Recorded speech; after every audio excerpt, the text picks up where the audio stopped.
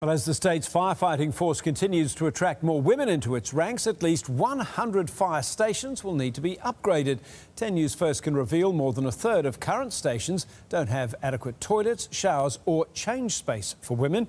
The new Emergency Services Minister has labelled it a top priority as she announced $50 million to start work.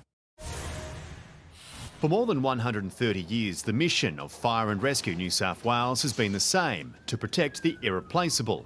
What has changed is who's wearing the uniform. We used to be just a male workforce in years gone by. We're not anymore. There are currently 775 female firefighters in the service, making up 10% of full time roles. That's up from 7% five years ago. It's progress that has exposed a problem.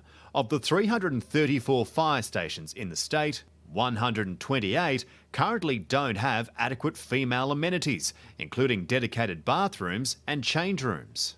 As a government, the least we can do is provide them with facilities uh, that are appropriate for them. Minister Steph Cooke announcing $50 million to upgrade stations. Many, including here at Forestville, simply weren't built with a female workforce in mind.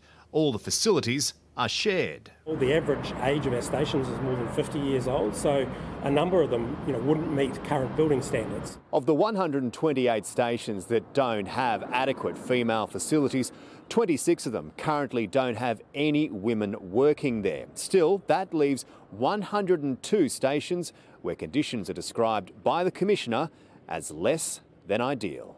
As the first female emergency services minister, uh, it is one of my top priorities to ensure that women uh, who are existing and serving in the ranks uh, and anyone who wants to join have the facilities that they uh, deserve. The funding follows a clear theme in this year's budget aimed at boosting female participation in the workforce. These announcements are all interlinked. We want to ensure that more than 50% of the population has all the opportunities to realise their hopes and aspirations to be able to choose to work in any industry that they want to. Whether that's in or out of a uniform. Lachlan Kennedy for 10 News First.